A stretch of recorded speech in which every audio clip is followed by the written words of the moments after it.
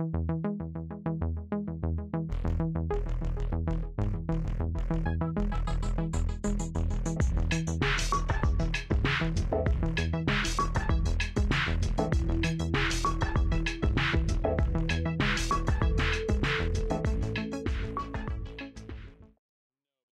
Today we are here with the sixth graders from East Hills Middle School and they are conducting an archaeological dig as an extension unit for their sixth grade uh, social studies classes.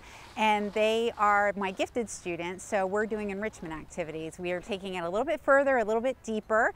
They actually are excavating a site here at Lock 44. We are down in Freemansburg and anything that they find is something that is part of the history of our area here. So they will then be drawing conclusions and analyzing it and learning about the culture and history here in Bethlehem. We found some very interesting things. We found the millstone. It was broken into two pieces and it actually took us three days plus some extra volunteers to get that out. We found a huge wagon wheel and we were able to get that out in three days worth of excavating with all the middle schools chipping in. But we've also found things like broken pottery and bottles and metal railroad ties, all kinds of things you would have found down here next to the lock system.